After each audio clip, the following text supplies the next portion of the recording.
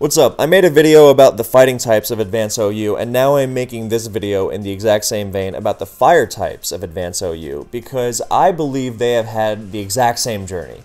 In old Advance, fighting types and fire types were not considered very good. They weren't seen very often. Sure, they were offensively potent, they were threatening and tough to switch into. However, they were difficult to make work consistently because their defensive qualities were tougher to make use of given how much they were vulnerable to. Not just how much they were vulnerable to, but how many common powerful strategies they were vulnerable to. You could check them without really thinking about it.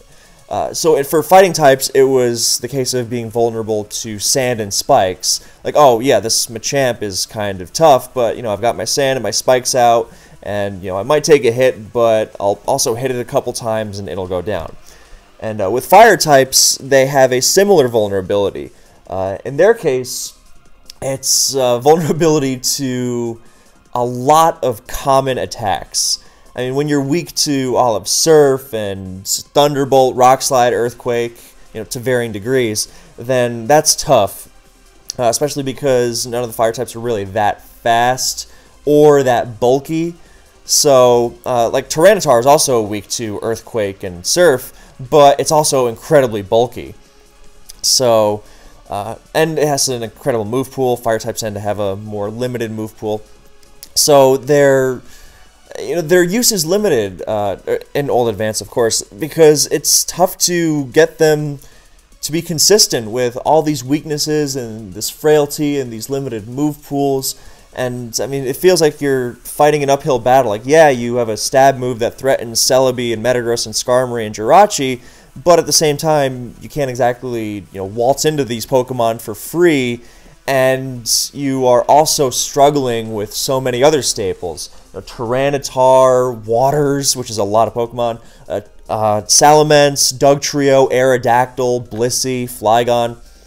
So, uh, even Zapdos, even. So, it's uh, they were tough to make work. However, just like fighting types, in the last couple years of Advance, the fires have really risen up and established themselves as metagame staples. Now, I have covered some of these fire types in different videos on the channel before, so when we're gonna still be going over the OU viable fires, but when it comes time to the Pokemon comes time to cover the Pokemon that I've covered before, then I'm going to refer most of the details to uh, the other videos I have on them, uh, so as to not just regurgitate those. Uh, of course, we'll still be going over generally what it does, but for further details, I will let you consult those other videos. Anyway, so uh, you might be thinking, well, why do you uh, want to make a video if you've already uh, about the fires if you've already covered them in different places? Well, I think the fires have a unique and interesting enough place in advance to deserve their own video.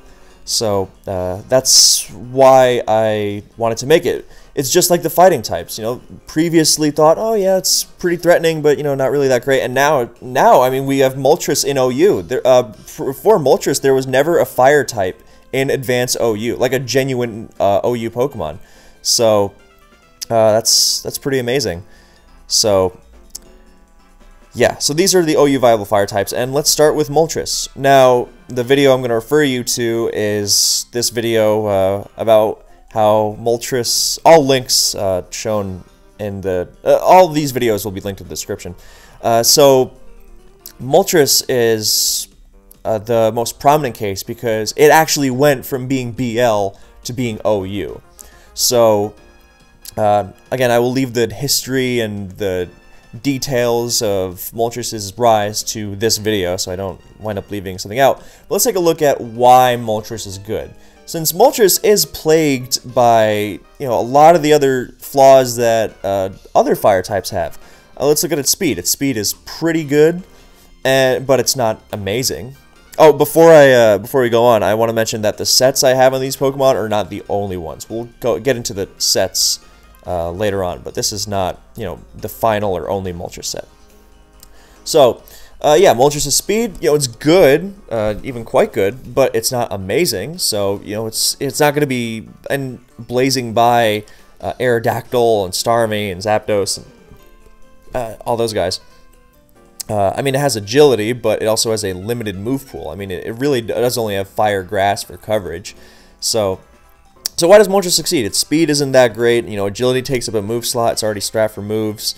Uh, doesn't have you know incredible coverage, and uh, it's you know weakness laden typing you know holds it back. I mean, yeah, it's immune to Earthquake, which is also great for being immune to spikes and Arena Trap. But you know, a lot of Pokemon that use Earthquake also use Rock Slide, so it's tough to switch in. It's also weak to Electric and Water. And, you know, it's not the bulkiest thing in the world, especially because it doesn't heal in sand. So what makes Moltres so dangerous? Well, Moltres has a huge special attack stat. It is the highest of all of the fire types, so it hits really, really hard. It's the same special attack stat, yeah, special attack stat as Zapdos, and in fact, it, its flamethrower, or it hits even harder with its fire stat potentially than Zapdos, because Zapdos um, just about never runs Thunder, and Moltres is free to run Fire Blast or even Overheat, which even Zapdos' Thunder can't match. So it hits really hard, first of all. Second of all, it has Will-O-Wisp. Will-O-Wisp is not a TM in Gen 3, so not every fire type gets Wisp. So like Charizard, Blaziken, Camerupt, they don't get Wisp. Uh, they'd really like it if they did, but they don't.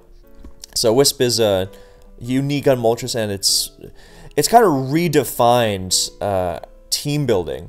Since uh, before Moltres, then you could say, oh, well, my uh, specially defensive Celebi will absorb Will-O-Wisps for my team and then you face Moltres and it's like, well, you know, I can't really absorb a Will-O-Wisp from Moltres. That's not too great.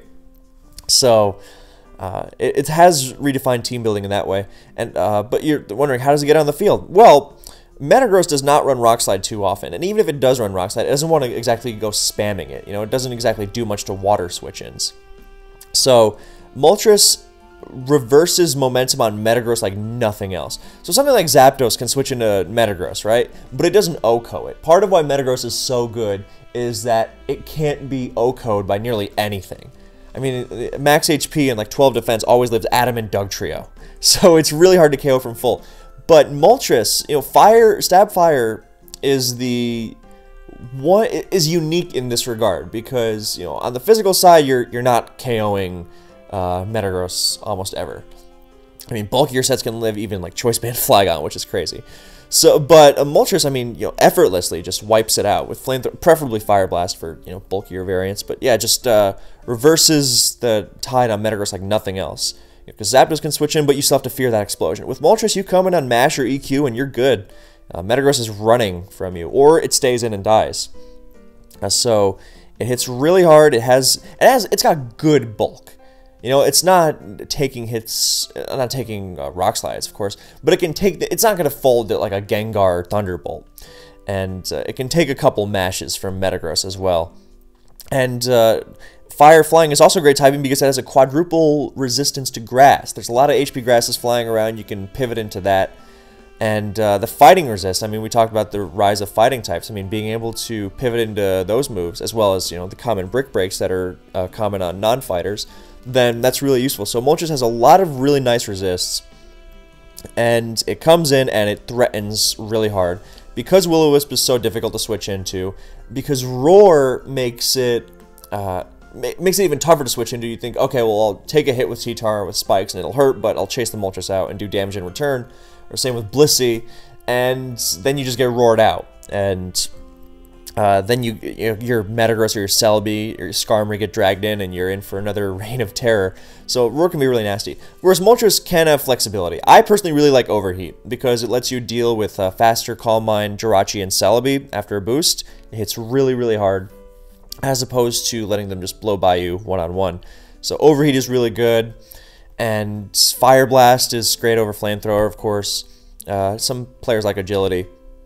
But basically, Moltres is uh, very simple. As long as you have, as long as you have fire and grass on your Moltres, some people like to even ditch Will-O-Wisp because yeah, it's nice, but you want to be spamming your fire move, so they'll do like Flamethrower, HP Grass, Roar, Overheat, stuff like that. it's flexible, so yes, its move pool is limited, but it's it hits so hard that it really, uh, that it it hits so hard it manages to hit the field enough to where it's worth it yeah, you, you can't just slap Moltres on and expect no repercussions. I mean, you're going to be scared of things like, uh, oh, speaking of Aerodactyl, I should mention Protect is really nice on it because uh, you scout Aerodactyl, you scout Choice Band Mence. It's uh, it's really nice. You, you uh, check booms from Snorlax. Uh, yeah, I should mention that without Will-O-Wisp, you are going to be completely walled by Flygon. That's something to consider. And it also uh, cripples Salamence really nicely. Not that Salam, but the nice thing is, is that those Pokemon are not immovable especially offensive Flygon and definitely offensive Salamence, they really don't want to be switching into your Flamethrower, which is part of why Moltres is uh, so dangerous. Moltres is so strong that a lot of time you just spam your Fire move, and a lot of time you spam your Fire move and switch, which is why I like leading off with Overheat sometimes too. And you just uh, you click your stab, you know, against your Meta against Metagross, and something gets hit really hard no matter what. I mean, even if they have Blissey, then they're going to be vulnerable to your uh, the spikes that Moltres is just about always paired with.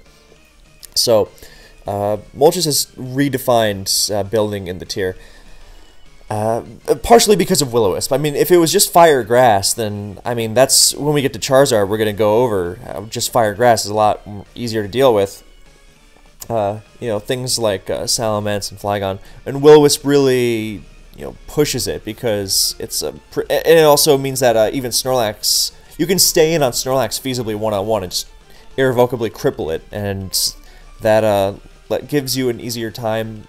Uh, that gives you uh, more flexibility in maneuvering around it and weakening their special sponge for Moltres' sake.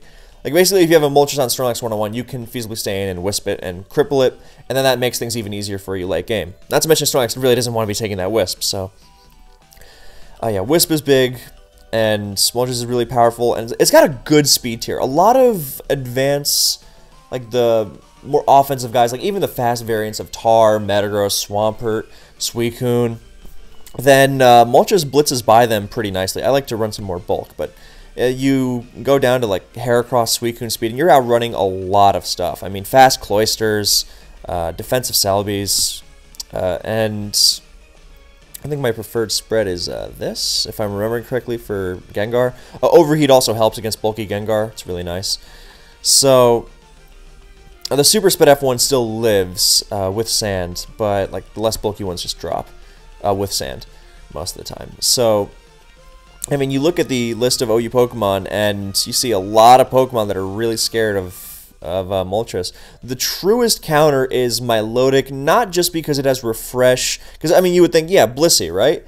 Well, uh, well, Blissey teams are less likely to be entirely equipped for spikes, whereas Milotic tends to be so vulnerable to spikes that a lot of teams tend to go all out with uh, you know doing making absolutely sure that they don't lose the spikes.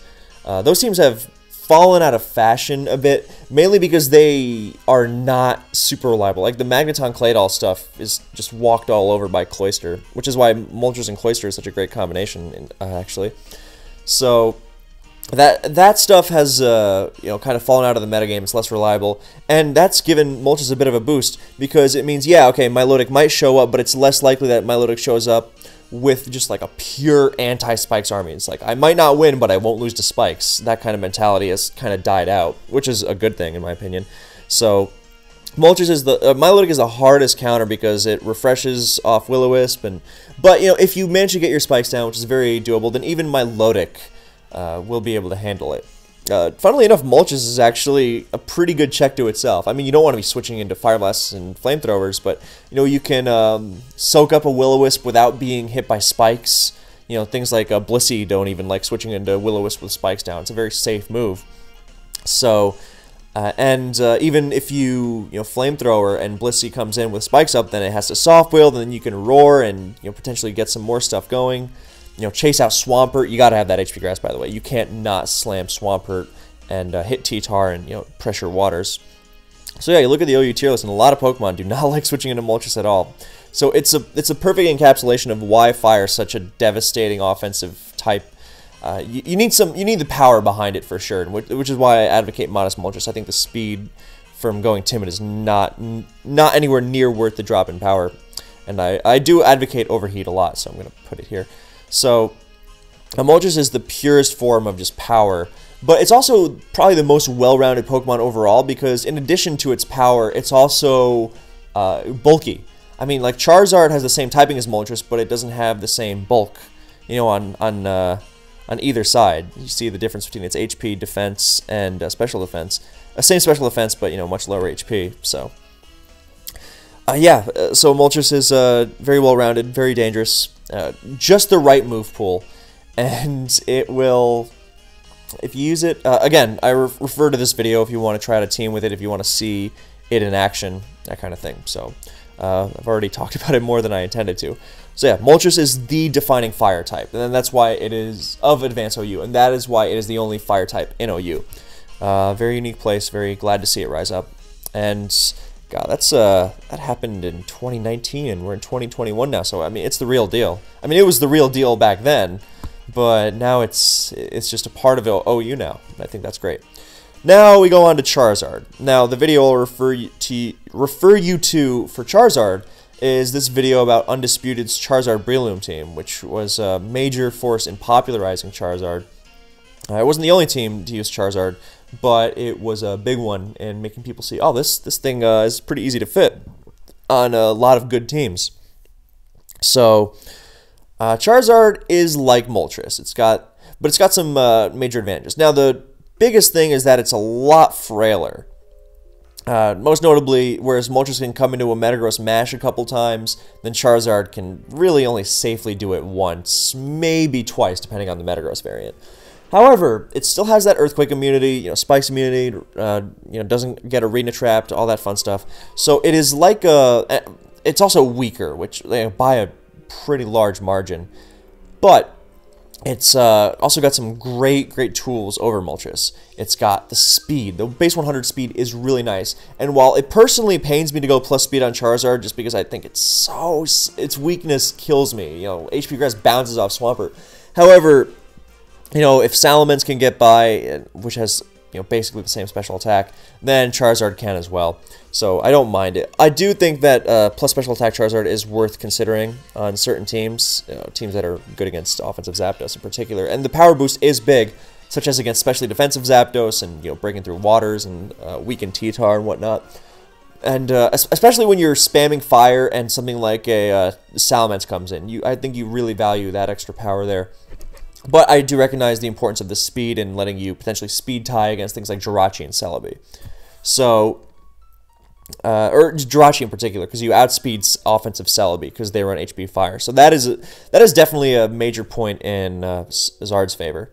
Uh, I should also mention that Moltres, uh, in you know, it checks itself pretty decently, but it checks Charizard even better because uh, it can switch into HP Grass and Focus Punch, and uh, Charizard is much weaker and Moltres hits it back harder in return. So, anyway, so uh, the speed is one thing. Blaze is another thing. You know, Charizard becomes stronger than Moltres at low HP, and that's uh, something really unique about Charizard. Is that you know Moltres kind of likes its HP high, so it can you know take that one Surf from you know Suicune if it really comes down to it. Or it can switch into a couple of Metagross Mashes. Charizard almost likes switching into that Metagross Mash and, you know, getting knocked down to Blaze because then it becomes really strong. So its Fire Blast just start dropping stuff. So, uh, oh, I, sorry, I forgot to mention the alternate uh, Moltres set. So this is the standard Moltres set. You use it on spikes teams and sand, and you're really offensively pressuring. But sometimes it likes to run uh, Sunny Day on uh, Sunny Day, Morning Sun, uh, Fire Stab, usually Flamethrower, Flamethrower, Wisp, Morning Sun, Sunny Day, and you use this on teams that really like clearing T-Tar sand uh, for the benefit of something like Calm Mind Rest Suicune. I think that's the best uh, beneficiary of this support. And it's a lot more specific to fit, but it's also a niche. And that is a really irreplaceable niche. That is, you know, that, that makes more, that makes Moltres even more well-rounded. Uh, because it's not just an offensive battering ram with some defensive utility. It can uh, fulfill that role really nicely. It can, you know, just go outright defensive, and it can uh, provide some real support. So, anyway, yeah, so uh, I was inspired to think of that because there's an alternate. There, there are a couple vari. There are actually there are a lot of variations on Charizard, but we're gonna start with this standard. Uh, I, I don't think beat up is the standard necessarily, but it's been seeing a lot of use lately, and it's another unique thing Charizard does. So, so yeah, the speed is unique. The uh, blaze is really unique. You know, it, it I it, that is really uh, great. Just being able to turn eating that damage from that attack to your advantage. Suddenly your Fire Blast, you know, Salamence really doesn't want to switch in, Zapdos, etc. And you know, in those offense on offense games, and that does make a big difference. Uh, the speed. Uh, so, you know, it's worth considering. I just uh, tend to like plus special attack on the right team. If you can handle those other 100s, like if you have Blissey or Dugtrio, Aerodactyl, then I think it's definitely worth considering. Anyway, Zard. Other advantage, Focus Punch. This is a big one. You know, whereas Moltres tends to rely more on Will-O-Wisp and Spikes, and uh, Charizard can really threaten uh, Zar, or uh, sorry, T-Tar and Blissey, you know, to a lesser extent Snorlax, uh, all on its own. So that is really big. So that's why the old standard on Zard was sub, just to make sure you uh, manage to hit your target. You get that sub up for the focus punch on Tar, uh, so you don't get pivoted around. You know, so they don't switch uh, in so they don't switch uh, Zapdos in on HP Grass or Focus Punch, stuff like that. However, Charizard has a lot of really good coverage options, which is why it kind of got abandoned. So, yeah, and uh, those coverage options are also really unique and I think really cool. So that's what we're going to examine. So sub is of course also fine because you know, if you can't switch into a Metagross Mash or, you know, various you know, Psychics and HP Fires and whatnot to knock you into Blaze, then you can just sub and manually knock yourself down to Blaze. So one of the nice things that Blaze does is let you beat Gengar one-on-one -on -one if it Thunderbolts. But uh, we've seen this in several tour games. And uh, I think, actually, this video in the description, then there's a tournament game uh, where this team was used, where that exact scenario arises. Uh, so again, refer to that video in the description. But uh, if Gengar Ice Punches, then you won't get knocked into Blaze, and then you're in Thunderbolt range. So with Substitute, then you can potentially say, oh, if you're going to Ice Punch, then I'll just sub down to Blaze. Of course, if you thunder, if it thunderbolts and you just sub, then you've done nothing and you lose the matchup. But the point is that substitute gives you something to play for rather than automatically losing to ice punch and thunderbolt. So that's really, and yeah, just, uh, oh, and also abuses protect really nicely. You know, Swampert wants to see, oh, this Charizard can't really punish me for protecting. I'll get some health, you know, I'll be out of HP grass range, and you sub on it. That's really scary. So uh, it makes it, it makes Skarm a little more hesitant as well. So uh, sub is one of the best ways to punish protect, which is a move very difficult to punish. So it's definitely got a lot of merit on Charizard. However, its other options uh, are also unique and also merit consideration. So focus punch is also difficult because Focus Punch is difficult to use, you know, with or without sub, because it doesn't do enough to Blissey, so you get stuck in these like weird scenarios where you know Blissey's under half, but you can't really finish it off, and it's attacking you. So, and you don't want to switch and let it soft boiled, but if you Focus Punch, you're afraid it's gonna just heal it off. So, uh, that's where Beat Up comes in. Beat Up is really nice because uh, I, I should actually make a video dedicated to Beat Up but uh, the the idea is that it takes the base attack stats on your team, on your Pokemon that are alive, not that haven't been KO'd. And uh, it does a ton to Blissey. So Charizard's got a, you know, like even Pokemon like Suicune that aren't physical attackers, they still have decent base uh, attack stats. So with Beat Up, you're doing a ton to Blissey. So basically, this actually lets you uh, threaten to beat Blissey one on one. You know, maybe if it's Thunder Wave, then you don't like it as much, but it's uh, less risky than Focus Punch because you're you know slamming it no matter what. So Beat Up is a really nice tool. Uh, makes you less dependent on Dugtrio to get rid of Blissey. It's a nice lure, so it's a really good option for that scenario. Uh, it's not the most spammable move, of course, because you know if T-Tar comes in, they really don't care. But you know, with Focus Punch, then you can potentially threaten those. Another coverage option is Dragon Claw, and this is big because, as we said, Moltres threatens Salamence uh, who resists the Fire Grass combo. A, with its power. B, with Will-O-Wisp. Charizard has neither of those. Its Fire Blast, yeah, okay, a minus special defense Mence, like a mixed Mence, is not going to love switching into its Fire Blast, but at the same time, it's a lot less threatened by it. Uh, the nice thing is, is that most mixed Mence don't run Rock Slide, and therefore Charizard can potentially stay and slug it out.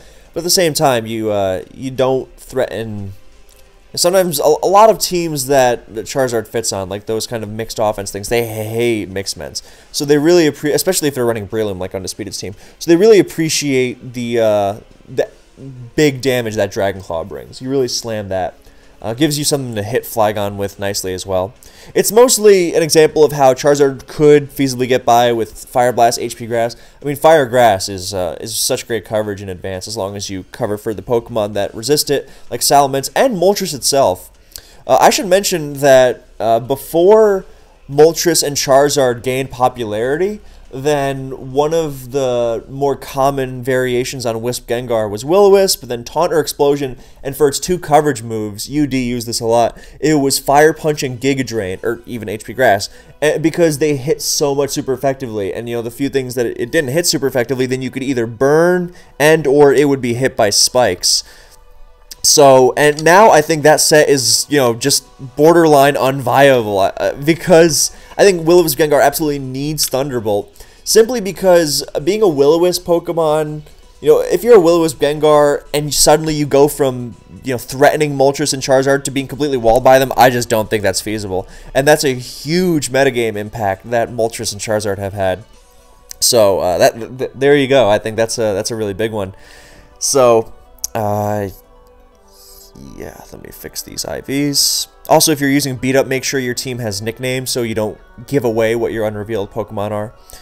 Yeah, so uh, there's Dragon Claw, and uh, some players, I think Triangle's experimented with Brick Break, because simply because it finishes off, you know, weakened T-Tar and Blissey without the prediction reliance of Focus Punch. You know, I think it's worth considering.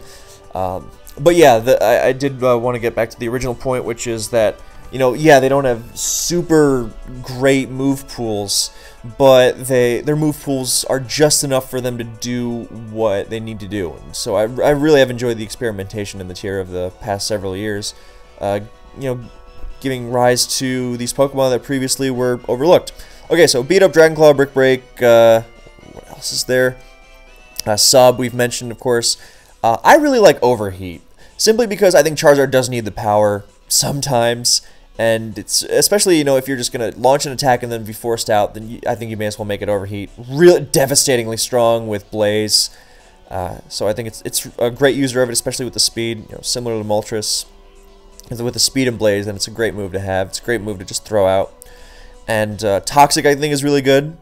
Uh, it's a little more prediction reliant, but you know it uh, hits non-refresh waters. It can pressure Blissey and uh, it, pressures Blissey, so like you spam Focus Punch a little, and it's like, oh well, you know, you can you can attack, but then you're not healing, and you can you know mix in a Fire Blast. Yeah, you can target and then just spam Fire Blast because it's you know taking damage, a lot of damage no matter what, and then potentially other Pokemon that don't want to switch in to it will have to switch in.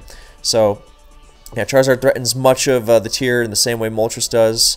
And, you know, Toxic is, you know, not great against Refresh Milotic. Charizard hates Milotic. Hates it more than anything else. But that's what your team is supposed to, your teammates are supposed to be for.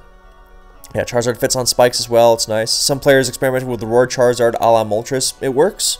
Uh, decent option, so, you know. And then uh, there, uh, there's other stuff. Oh, yeah, so the alternate Charizard goes the Pitaya Berry route. Now, I am a huge fan of this set. Sub Sunny Day. Um, it's really, really cool. Basically, you run Fire Blast, HP. I think this is the you know most standard setup, although it can it can go a lot of ways.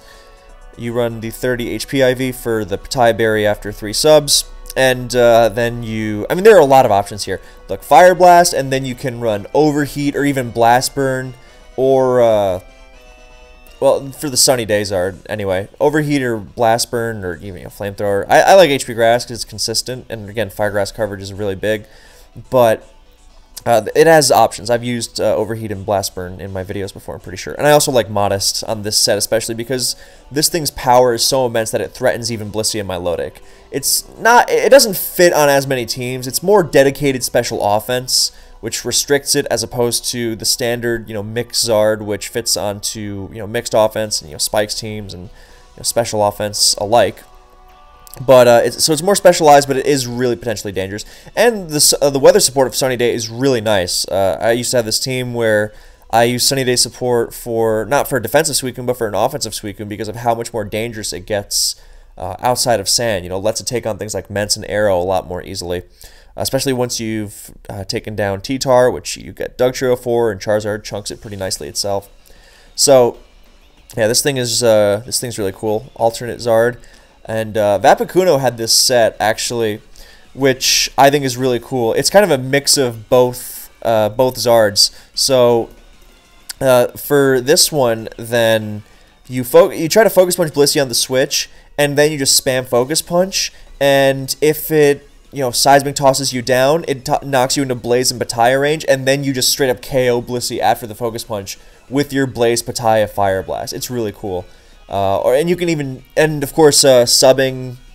Uh, you get down to Blaze range and Pitaya range more easily with sub, so you can do it actively, or you can let Blissey do it for you. It's uh, it's really cool.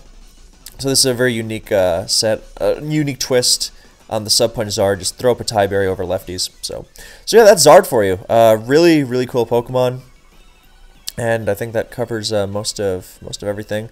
And uh, oh, I, I, will say its speed stat is really nice because yeah, you get that you get to compete with the crowded 100 tier. But even if you go plus special attack, and then you outrun things like stupid things like Jolly Heracross. Awful set, but you're still going to be outpacing a lot of stuff, which is really nice. So I I really like that a lot about Zard.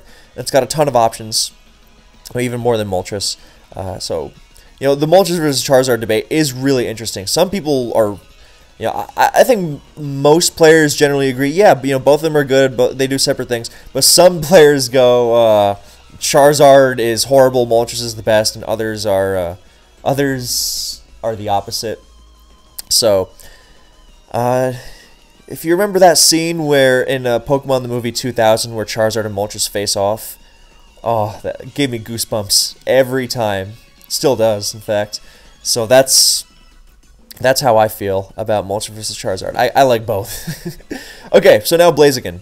Now I'm going to refer you to another video yet again, and that's because uh, this is actually perfect overlap with that fighting type video I made that I mentioned, because uh, you know Blaziken is a fire type of Advanced OU, but it's also a fighting type of, of Advanced OU. And uh, I don't remember because I haven't rewatched the video, but I'm pretty sure what I said was, you know, Blaziken, uh, you can look at it as a fighting type that has stab fire coverage for Skarmory and Metagross and Celebi, or you can look at it as a fire type that has stab fighting coverage for Tyranitar and Blissey. And, you know, that, that's the gist of Blaziken. Uh, it's a very good mi pure mixed attacker. So, of course, uh, it's got its flaws. It's the slowest of the fire types we've seen so far, slower than Moltres. And uh, unlike uh, Charizard and Moltres, it's weak to Earthquake and Spikes and gets trapped by Dugtrio. And uh, yeah, so it's you know, and it's also vulnerable to Psychic, which sucks. However, uh, offensively, this thing is really, really dangerous. Just because stab, fire, and fighting. I mean, we talked about Charizard focus punching through, uh, you know, T-Tar and Blissey and how that can sometimes be difficult. Blaziken doesn't need that. Blaziken has stab sky uppercut. So you just threaten out T-Tar immediately, and you've got that really nice, uh, it's actually, okay, it's technically the same, it's basically the same special attack stat as uh, Charizard, which is nice, technically a little higher. So it hits really hard. And uh, there's actually not very much gained from plus speed Blaziken, in my opinion. I, I mean, you can. I, I think I actually went over that in, uh, oh, that's my remix uh, background music playlist, which you can find on my channel if you're so interested.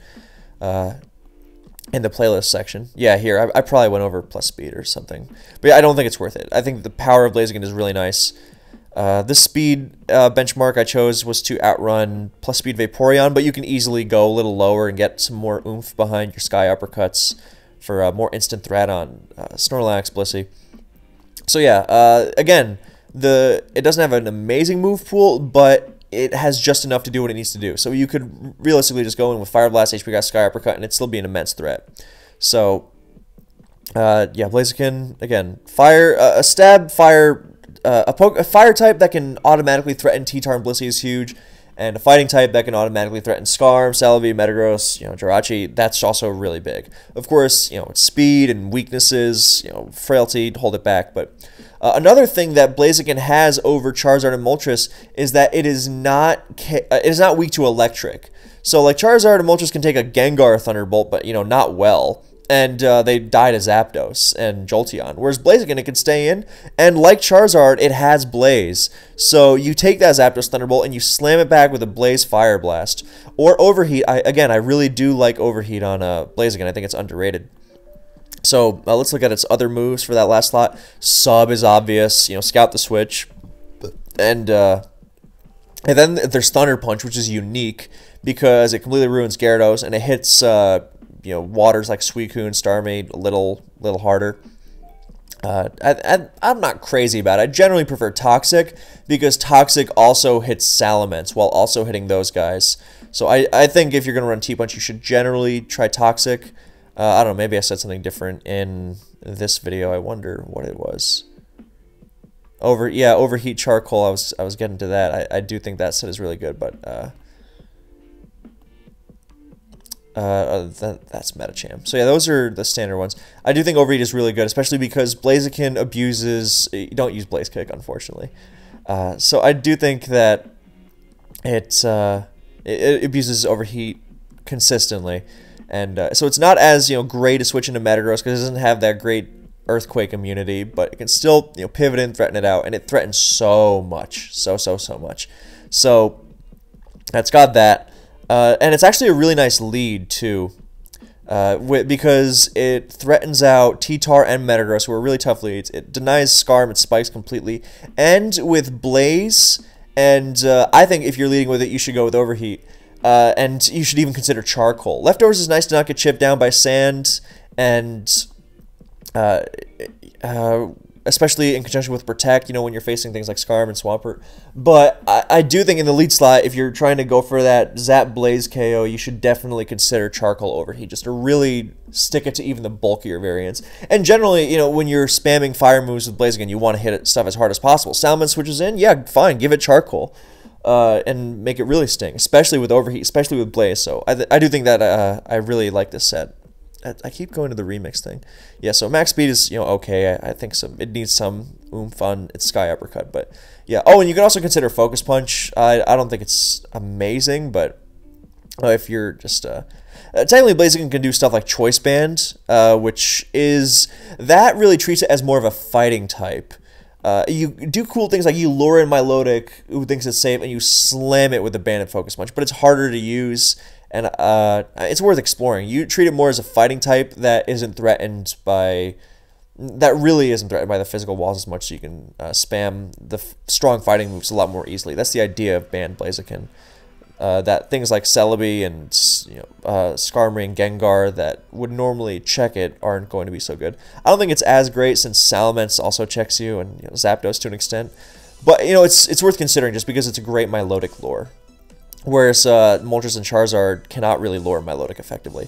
So, yeah, I do I do prefer Charcoal Overheat the most. I think it's really good. And uh, again, I'll refer you to that video. And I think that's most of uh, what Blaziken wants to really consider. I don't think you know it's really good with Sunny Day or anything. It doesn't have the speed. But yeah, it's it's very it's a great great Pokemon. You can you know drop that uh, drop this a little more, go down to you know this range, ish for uh, the Cloysters that live Starmie Thunderbolt. And uh, getting the jump on defensive Zapdos and uh, Celebi and whatnot. Anyway, so yeah, that's Blaziken for you. Fire type that's also fighting, fighting type that's also fire. Very unique combination, and uh, it's a great lead. You know, being able to so I mean I, know I've said this again, so I'll just repeat it one more time. Being a fire type that threatens T-Tar and Blissey is so good. It makes it uh, such a nice lead because you could lead Moltres and Charizard and scare out uh, Metagross, but it would also be a bad lead because it loses hard to Zapdos and Tyranitar, whereas Blaziken can potentially beat all three, and that's really, really cool. Uh, I credit Zalmog for that discovery of Lead Blaziken. Uh, I think the charcoal overheat application I like to mess around with, it, may, it takes that to its most extreme, but yeah, you can also probably do stuff like Lum Berry on it to absorb sleep and you know random paralysis. Uh, I would definitely consider that, especially if you're running overheat, because uh, Charcoal's boost is not that substantial, and Lum Berry can definitely be a game changer. So, again, Blaziken has uh, room for experimentation, but its place is very unique. It doesn't have to be a lead, of course. It's good uh, mid game, uh, but you really have to make sure you're good against Dugtrio because Dugtrio is going to pick this thing off, uh, and you do have to be able to punish it afterwards, which is true of any Dugtrio weak Pokemon, of course. But Blaziken is super vulnerable because like T-Tar and Metagross, they can EV to live it, but uh, Blaziken has no hope. Uh, one thing you can also experiment with is Salac Berry, which I think it's a great user of, especially if it's getting knocked around by sand and suddenly it's like, oh well, now I can't outspeed it with my Starmie anymore. That sucks. So you, uh, yeah, uh, Blaziken is really that ability to cut through traditional fire counters, you know, in T-Tar and and uh, and Blissey. Oh, I should also mention Thunder Punch and Toxic are also good for checking Moltres, for uh, crippling Moltres and Charizard, who are actually pretty good checks to Blaziken, so also worth considering. But then again, you know, the power of Charcoal boosted Sand, Overheat and Sand also generally does a really nice job in that regard. So, uh, yeah, you got Blaziken doing that.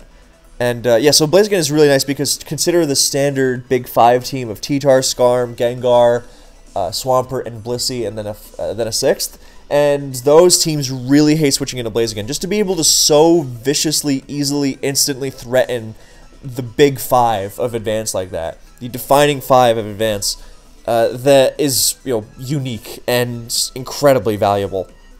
So, yeah, I mean, we're talking instant. I mean, it OHKO's even careful max Skarm with Fire Blast always. So that's really nice when you know it's it's a welcome change of pace from you know Skarm living Zapdos Thunderbolts. Anyway, you know even invested Zapdos Thunderbolts. Anyway, so that's Blaziken for you. I think uh, I'll stop from repeating myself, and again refer to that video for further details. Now Camerupt. Camerupt is tough because this is I think where uh, you notice a significant decline in uh, viability. So Moltres is the best. Then Charizard is not far behind it. And then Blaziken's a little further behind Charizard. The gap between Charizard and Blaziken is a little wider than the gap between Moltres and Charizard, but it's still, you know, very good. And now with Camerupt, actually I should probably reverse it to be Houndoom then Camerupt, because I think Houndoom is, uh, we're going in order of viability, and Houndoom is definitely a little more viable in Camerupt. So we'll start with Houndoom. So Houndoom is basically a Pursuit T-Tar on steroids insofar as it's got a much higher special attack stat, which means it really lands that trap on Gengar. It's also immune to Will-O-Wisp, I mean even without Flash Fire. Some people like Early Bird because it lets it absorb like Venusaur Sleep Powder better, but I like Flash Fire because it also means you are completely immune to Moltres Fire Blast. And, you know, boosting your own Fire Blast is very useful as well. So I do like that. Some people really hate sleep, but I think, uh, and, and, it helps you against uh, Hypnosis Gengar, dump set. But I generally do prefer the uh, reliability of Flash Fire, so, you know, your mileage may vary depending. And I think you can also definitely make Houndoom a lot slower and bulk it out. Uh, you should definitely be investing in special defense to take those Thunderbolts, so, you know, let's give it the same special... It's got a really good speed stats, uh, close to... Uh, close to Charizard, and in theory, you could go, you know, really abuse this speed, you know, uh, at speed like these Gengars, and still hit, you know, just as a, you know, it's got the same special attack as Blaziken, but I, I do think, and um, even with Timid, you know, Houndoom exists mostly to pursue Gengar so that either you don't bring Sin. Well, we'll get into that for a sec. But the the general idea is that even with Timid, you are effectively as strong as a max, max special attack, uh, modest or plus special attack uh, T-Tar. But I do think that you really need to make use of the difference of uh, of its of its uh, special attack stat to really stick it to those specially defensive Gengars. So. Uh, yeah, I, and you also really want bulk on it. You really want to pump special defense to take Gengar Thunderbolts because it's not as naturally bulky as T-Tar, nowhere close. So you really need to invest to have those bounce off. So uh, the last move. So uh, before we go to the moves, I should also mention. So uh, Houndoom, Houndoom's typing is really interesting. Uh, well, the fact it doesn't bring sand, that's one reason you, could use it over Pursuit Tar. Uh, it's it's kind of like a Pursuit Tar that doesn't bring sand, but also has the offensive threat level of a fire type. So, I mean, you're really threatening Metagross and, uh, and Skarmory. And, you know, not bringing sand, some teams prefer to not deal with sand if they can help it. However, most of the time you run Houndoom because you want to run a different Tyranitar set. And again, uh, just like Blaziken, Houndoom is viciously weak to Dugtrio, so you generally...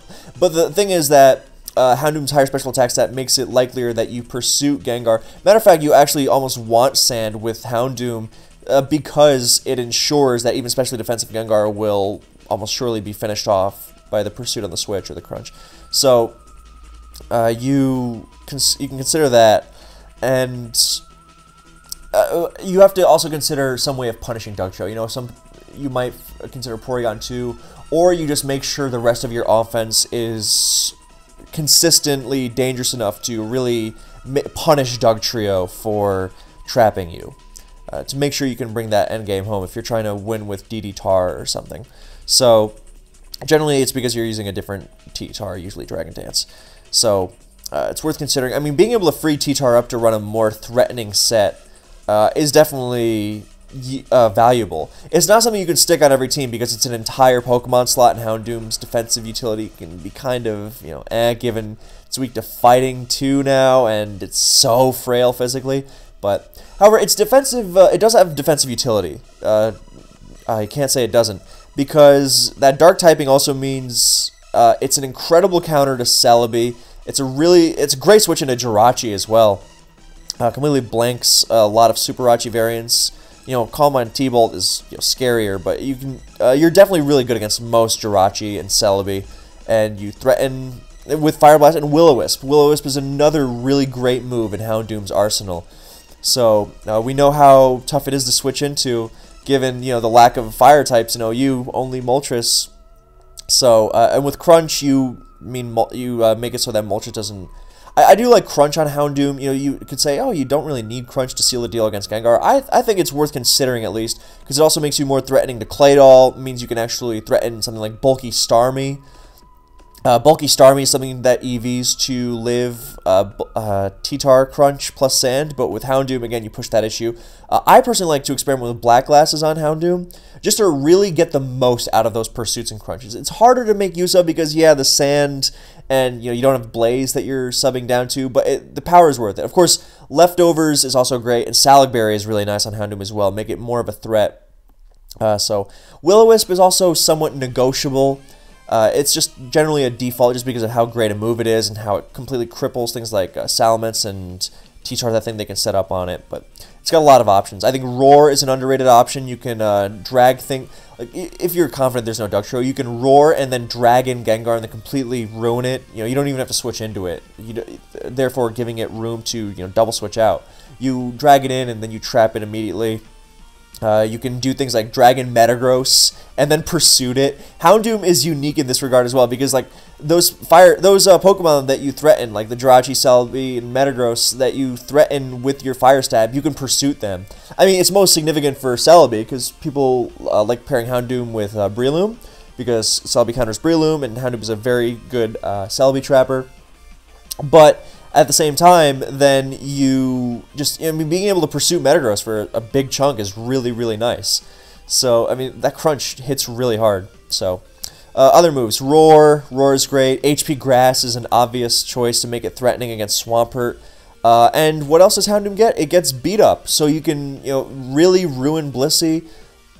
It's uh, it's got a lot of really cool tools to use, and it's got a very so again we're it, this is a bit of a step off in terms of quality because Houndoom is really more specific in terms of how it fits on teams, and it's you know, less of an immediate threat, and its weaknesses are really really exploitable, but it does have a lot of really nice tools. So that pursuit trapping, that very unique blend of defensive utility.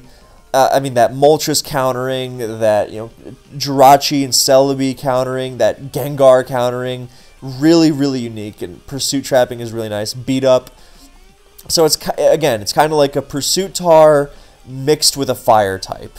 Uh, with a it's a pursuit tar mixed with a beat up Will-O-Wisp fire type. So it's got a lot of really great qualities. Uh, it takes a lot of really great qualities uh, of different fire types and mashes them into one Pokemon that also comes with a really meaty pursuit. I think it's got the strongest pursuit in the game. Uh, can't imagine anything else that's stronger. So, uh, yeah. So that's what Houndoom does. Uh, remember, pump that, pump that special defense. You know, consider Salac Berry to really ensure you stick it to Gengar, and maybe you'll be able to escape Dugtrio. So yeah, th those are. Uh, it's got a lot of great options. Does some really cool stuff. Uh, I haven't seen Taunt used to good effect, but uh, yeah, Overheat is always, always an option in case you're just trying to... I think Houndoom is the worst user of Overheat of the four Pokemon we've examined so far, uh, simply because of the utility that those other those other Pokemon bring. So I, I would generally not bother with bother with it. I think besides Fire Blast and Pursuit, uh, you would generally, I mean, technically, I'm sure you could just bluff your way through a couple of games without Fire Blast, but I, you know, because Pursuit is the only move that really makes Houndoom Houndoom. But you gotta choose between Will-O-Wisp, Crunch, Roar, HP Grass, Beat Up. That's already a lot of really good Pokemon to be choosing between. And uh, it gets Solar Beam. Uh, something else that Solar Beam is not a either it's not a TM, uh, either like Will-O-Wisp, but it's not a TM, or just these Pokemon don't learn it. Whereas you know uh, every Pokemon learns uh, every Fire type it seems learns Solar Beam in Gen four and onward. But yeah, Moltres and Charizard don't get Solar Beam, and uh, yeah, there's Blaziken. But I don't think Blaziken gets Solar Beam in general. But yeah, uh, Houndoom gets it. So in theory, you could do some Sunny Day Solar Beam stuff. However, I don't think that's an efficient use of Houndoom. I would generally prefer, if you're going to Sunny Day, uh, Moltres or Charizard are going to do it better. I think, uh, you know, I, I, guess you could do like a pursuing Will-O-Wisping Sunny Day kind of thing on Houndoom. But if you really need to cram all that utility into that slot, like on some Magneton Donphan Houndoom team, uh, but at at that point, I would just probably just use uh, the combination of bulky Umbreon for the pursuit and then uh, Sunny Day Moltres. I mean, yeah, Houndoom crams it into one slot, but less less of a good thing overall. So, uh, yeah, I would. Uh, yeah, so Houndoom's got a lot of really cool stuff. I hope to see it explored more in the future. So that's that's what Houndoom does. Now Camerupt. Now, Camerupt is tough. Camerupt is unique because it has a lot of really, really great, completely unique uh, traits. So uh, by virtue of its typing. So what that typing does is it means it's immune to Will-O-Wisp, sure, but you know all these other fire types are immune to Will-O-Wisp as well. However, they are all vulnerable in you know to varying degrees to Gengar's Thunderbolt. I mean that's why uh, Houndoom has to run special defense EVs because otherwise it is threatened by repeated Gengar Thunderbolts, especially with spikes down. Gengar's just completely immune to them.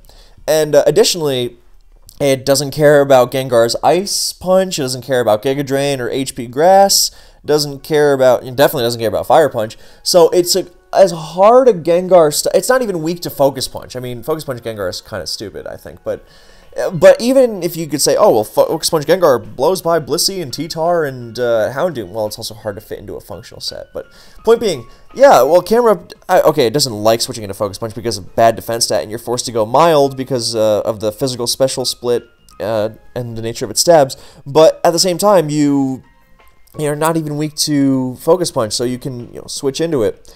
So uh, you, that is also valuable. And what that Thunderbolt immunity, HP Grass neutrality, and Ice Move neutrality also means is that you completely counter Electrics. You just stuff uh, Zapdos and Jolteon and Raikou.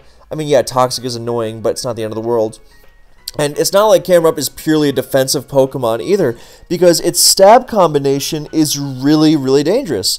I mean, Fire Blast, Stab Fire Blast, and Stab Earthquake, that's great. Now you have, uh, you, you kind of are like Blaziken in that you have a stab that T-Tar doesn't want to come in. T-Tar and Blissey don't really like switching into. So, and uh, most unique of all, you have Explosion. So, you can, you know, if that bulky water, like that Milotic is walling you, just blow it up. So, it's really cool. So the way Camerupt is generally being used is uh, blanking Gengar and Zapdos is really good because they're so difficult to deal with, and uh, it's sand immune. That's another huge thing about Camerupt. Uh, it heals in sand. That's so so so good. So I mean, you switch into Gengar Thunderbolt with spikes down, and you start healing with leftovers. Whereas the others, then you know, you switch into a Gengar Will-O-Wisp with spikes, or you switch into a Gengar. Uh, you're not healing is the thing.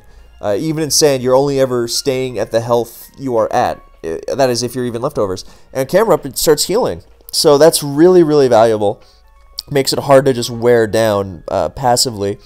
So, and uh, offensive teams really love the traits that Camerupt brings because being able to stuff Gengar and Zapdos is so valuable so that your Snorlax doesn't have to deal with them. You can preserve your Snorlax to check other special threats like Calm Mind sweepers, or you can just make it more of an uh, offensive threat. You can go all in on that knowing that you have Camerupt to deal with it. Alternatively, you can just use Camerupt to, you know, bust open a hole because it's such a dangerous wall breaker because it's got great stabs and explosion. And by virtue of its stabs, normal types, or sorry, normal resistances don't like switching into it because steels don't like switching into fire, uh, rocks don't like earthquake, and ghosts, well, you know, Gengar, Camerupt switches into Gengar and threatens it with Fire Blast, so it's not like, oh, well, let me blank this Camerupt explosion with Gengar, that's easy. No, that doesn't really happen. So, uh, the exception, of course, is Aerodactyl, and we're getting to Camerupt's issues. There's a reason it's ranked the lowest of the five so far. So, uh, yeah, so adding another boom to an offensive team is really nice. So you free up your Snorlax and your Metagross uh, a lot in that vein. You know, providing this temporary stopgap to these dangerous threats that are really, really difficult to stop. Their options for dealing with them are, uh, you know, really limited. So you really like that. But while it can occasionally be really, really good, it's it's just so inconsistent overall. And uh, we'll so now that we know what Camerupt does well, you know, it's stuffs Gengar Zapdos, and uh, it's it threatens a lot. It's a good wall breaker in return. So it's got some good defensive, offensive utility, right? That's that's what you want out of uh, you know these kinds of Pokemon. So okay, let's let's examine what Camerupt. Camerupt's failings are really more on the defensive side. I mean, it's, it's not perfect offensively, but it, yeah. So, uh, look, Camerupt is a check to Gengar and Zapdos that is just hopelessly destroyed by Dugtrio. Now, Houndoom is the same. It's a check to Gengar that's destroyed by Dugtrio. However, Houndoom can at least trap uh, Gengar. That's the big thing. Uh, so you can you know punish Gengar for just like yeah okay I got Dugtrio but I also took out their Gengar so worth it. Camerupt with Camerupt, uh, you can still extract some value out of it, even if you're facing a Dugtrio, as long as you like blow something up before you get a chance to get Dugged, and Doug doesn't exactly love coming into Camerupt freely, so you can still threaten stuff. Uh, but you know the fact that Baton Pass Zapdos has never been more common means that you kind of got you got to be careful about switching Camerupt into uh, Doug so so freely. So uh, Camerupt into Zapdos rather. So I mean, you have to definitely walk, be careful. It's what makes it less consistent. But I mean, yeah, Blaziken and Houndoom are also Dugtrio vulnerable. So, however, the difference is Houndoom's got its pursuit, Blaziken's got good speed and uh, that great secondary stab, and it really threatens a lot instantly. Camerupt's low speed means oh, it's it's really hard to keep playing. Oh, we're at the end of the playlist. Okay, well, back to the beginning then. Okay, so Camerupt's speed is oh, it's it's rough. So Camerupt is definitely the most inconsistent of these five, uh, just because of how easily it can just go horribly wrong. So, uh, and there's also the issue of putting together a good Camerupt move set. Now, you with these other Pokemon, you notice, you know, you can put a, you can just put two, three moves on them and they still be good. And with Camerupt, you know, no matter what four moves, I mean, yeah, you could say Fire Blast, EQ, Explosion, but you know, it's got it's got those flaws, and it really they are significant. So, look, EVing it is a really big issue. I mean, with these other Pokemon, you really don't have trouble EVing them. I mean, you might have to make a choice on Charizard plus special attack versus plus speed, but I mean, it's not really tough, and it's not really a tough choice to make. Or uh, rather, it's not really debilitating most of the time if you know what you're doing. Whereas with Camerupt, no matter what you do, you are going to really you know, be strapped for something. You really want that max special attack because it's got the perfect special attack stat to always OHKO Careful Skarm, even with minimum damage. That's why it's got the max special attack. So, and you'll also, if you're running a hidden power in the last slot, you'll want that power as well. So, the problem is, it's so painfully slow, you really want attack EVs as well. Because one of the worst things about Camerupt is that T-Tar is actually kind of a check to it. And it's so slow that you have to uh, it's a problem because it's OHKO'd by and it's slower. I mean, yeah, okay, T-Tar can also kind of check Moltres and Charizard, but they can, they're also faster than it, so they can at least threaten it. They can hit it twice. Whereas Camerupt, you know, not so lucky. You know, you either hit it on the switch, and you know maybe you you gotta hope it's slower, which is why it's EV uh, this much. But it's so naturally frail, and its attack just not sufficient enough to where you know, Blaziken doesn't run a ton of EVs for Sky Uppercut, but it doesn't need to. It's already naturally strong enough against its targets to where it doesn't really need that investment, whereas Camerupt does really need it. Uh, and it can't really run as much as it'd like, nor can it run enough special defense as it'd like. Because, yeah, it's neutral to Gengar's Ice Punch and Zapdos' HP Grass, but it needs investment to not completely topple over to them. So you need to fit attack, you need to fit special defense, and you need to fit speed, uh, alongside a hefty special attack investment. I'm look, I'm not saying this is the final Camerupt spread. This is just something I was tweaking uh, yesterday, but it, it's uh, it illustrates the struggle of putting together a, a good Camerupt. It's really tough to do. So it's so slow, and otherwise, if you don't invest in speed, then you're going to gain even more checks than you already have naturally. You're going to get outsped by minus speed and neutral variants of uh, things like Swampert, T-Tar, Metagross. Uh, you know, you'll be at low health and you'll be getting outsped and finished off by Blissey and minus speed Claydol. Uh, so even max speed isn't guaranteed to fix all those problems against, you know, many variants of Pert, T-Tar, Metagross. The sad thing is, is that uh, neutral Camerupt tops out at 179, so you're not even getting into the semi-crowded base, uh, not base, just uh, 180 speed tiers, which a lot of T-Tars and Metagrosses and Skarms and Blisseys and Swamperts tend to run around in. Uh, even some Claydols. Uh, but you can't go plus speed because, I mean, what did we say? Camera star for power as is, and you you take away from that for a very minute advantage. You know, it's not like... I mean, it, it sucks because being outsped by those guys, yeah, that blows but you know even outspeeding something like uh, T-Tar doesn't necessarily fix the issue because Camerupt is so frail and so vulnerable to earthquake that you T-Tar pivots into fire blast and eats an earthquake and then earthquakes you back and you're like okay that's fine. At least you didn't blow up my uh, my Blissey or my water or my Mence or my Zapdos. You know I would take that. Absolutely I would. So that's what makes Camerupt really rough. It, it wants to boom on stuff that it can't always boom on and uh, the fact is that even with plus speed, you reach 196, which is so sad because it doesn't even outspeed zero speed Milotic. So, and that's another problem with Camerupt. It's so prediction reliant because it's so frail and so vulnerable to so many things that you really have to be on top of your prediction game, and that's what makes it so tough. I mean, you want to be, you know, HP icing the Mence on the Switch if you have HP ice, and then T-Tar comes in, it's like, well, that was a good move because he resists everything but Earthquake, and even Earthquake doesn't exactly OHKO him. So you really have to predict like a maniac to get anything out of Camerupt and even then it's not guaranteed to uh, necessarily work depending on a lot of factors it's hard to make it consistent so and I mean, you really need that attack investment because otherwise, I think zero attack camera has less than a 67% chance to KO max HP T-Tar through lefties. And even these 32 attack EVs, it's like something like 94 point something to 2 KO, which is, you know, a lot better, but I mean, the fact that it needs investment for that really, you know, when it needs investment for so many other things as well. This outspeeds uh, minus speed Metagross and zero speed T-Tar, by the way, which is, you know, you're missing out on things like minus speed Claydol, but I, I, you have to draw a line somewhere, and I thought that was the most significant one, because that also gets a jump on uh, Bold Swampert, so, or uh, neutral zero speed Swampert, so... Uh, yeah, that's that's uh, those are some big targets, and then the choice of HP Grass versus HP Ice versus Toxic is a tough one as well. Uh, so uh, yeah, so uh, let's say you have a perfect balance of all these EVs, and even then, you're just going to be so crippled by that prediction reliant nature.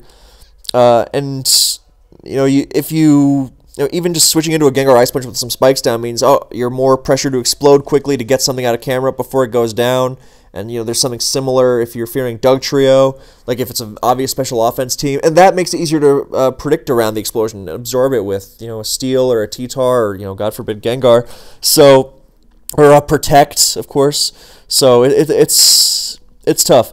Now, look, camera can be really useful. Uh, I remember the first time it was used. It was uh, SPL4 Finals. It had never been seen before in high level advance, and Danilo just pulled it out in this huge game and won with it. Uh, it didn't really check Gengar's Zapdos because it wasn't facing them, but it, you know, just the explosion itself, it's such a strong move that sometimes that reminds me I have to make an explosion video as well. Um, yeah, it's such a strong move that you just uh, that it can go a long way. I think it like OHKO to full health Snorlax, which was crucial for winning the game. So that's why it's so so big. Uh, you just it can be useful. However, it's tough to make consistently useful. I mean, no one's denying its defensive properties are really nice and that it can turn them into potentially threatening offensive properties. And it can use these defensive properties to find opportunities to launch its dangerous offensive assault. It's just, it's hard to make it consistent just because of how difficult EVing it is. And then, you know, picking a move set and then, you know, the prediction reliant nature of using it and the fact it's so easy to naturally check between Mence and and all the waters and T-Tar and I mean, even, uh, God forbid there's an Aero. Uh, it's rough. However, Gengar and Electrics is, is, a great set of Pokemon to check, and it can be really threatening. I mean, Explosion on a Fire type is just net great no matter what. So, and of course, Stab EQ is nothing to sneeze at either. So, uh, I generally prefer Toxic for the last slot. It hits Mence and Waters and Moltres and you know even Aero all in one.